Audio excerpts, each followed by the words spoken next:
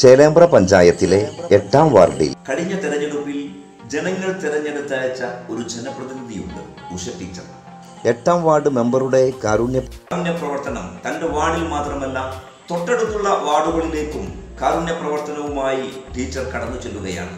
ഈ കഴിഞ്ഞ കാലയളവിൽ ഒട്ടനവധി കുട്ടികൾക്ക് നോട്ട്ബുക്കുകളും മൊബൈൽ ഫോണുകളും വിതരണം ചെയ്തുകൊണ്ട് ടീച്ചർ ശ്രദ്ധ ആകർഷിക്കുകയുണ്ടായി.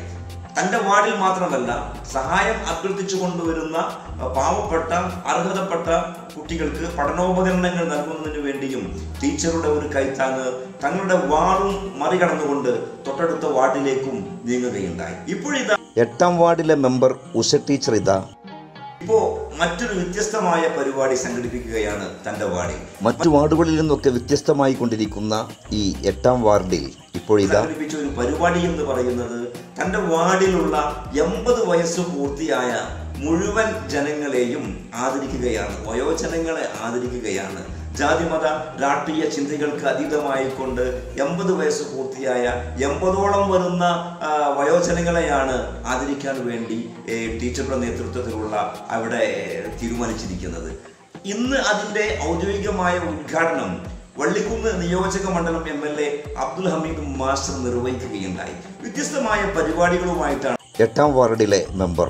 ഉഷ ടീച്ചർ മുന്നോട്ട് ഗമിച്ചുകൊണ്ടിരിക്കുന്നത് നമുക്ക് അവർക്ക് പിന്തുണ നൽകാം.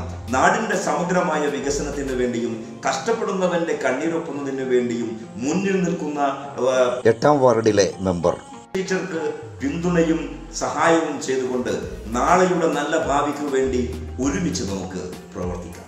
എട്ടാം വാർഡിൽ ഇന്നു നടന്ന വയോജനങ്ങളെ ആദരിക്കൽ പരിപാടിയുടെ ഔദ്യോഗികമായ ഉദ്ഘാടനം വള്ളിക്കുന്ന് നിയോജക മണ്ഡലം M L A Abdul Hameed master നിർവഹിച്ചു.